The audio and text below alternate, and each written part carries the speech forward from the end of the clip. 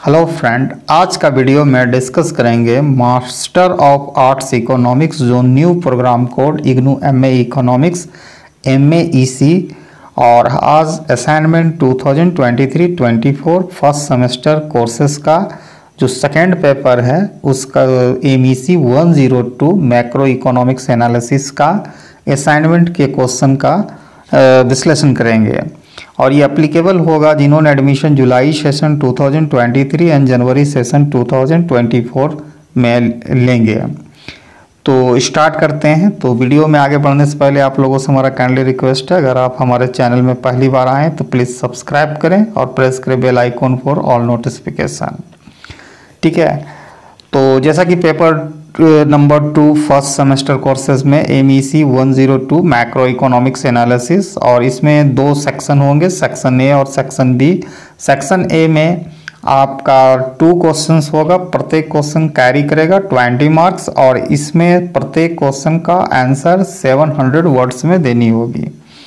ठीक है, और यहाँ पर एक, जो word limit to not apply in the case of numerical questions ठीक है तो इसमें दो सेक्शन ए में दो क्वेश्चन है। पहला क्वेश्चन है discuss how economy achieve equilibrium in the I S L M model ठीक है? What do the point outside the I S curve signify highlight करना है फैक्टर जो इन्फ्लुएंस करता है I S L M curve को। दूसरा क्वेश्चन है डिस्कस कर रहे हैं important future of new classical macroeconomics, what are the major policy issue highlighted by new classical economics?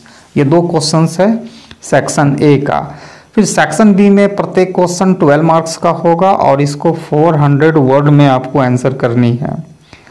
तो यहाँ पर हम देखते हैं क्वेश्चन नंबर थ्री में आपको स्पेसिफाई करना है a loss function and interpret it and what is the meant by dynamic inconsistency question number four आप देख सकते हैं differentiate between adaptive expectation and rational expectation explain why the slope of the Phillips curve changes when we introduce expectation in our analysis.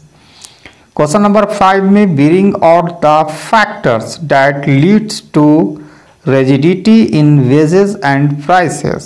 Question number six आप देख सकते हैं। Describe the importance of public debt in an economy under what condition is public debt not sustainable in an economy.